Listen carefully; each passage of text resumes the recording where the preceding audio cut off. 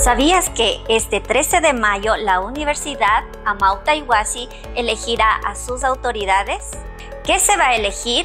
Ese día se elegirá a un rector o rectora, un vicerrector o vicerrectora académico, intercultural y comunitario y un vicerrector o vicerrectora de gestión comunitaria, investigación y vinculación con la sociedad.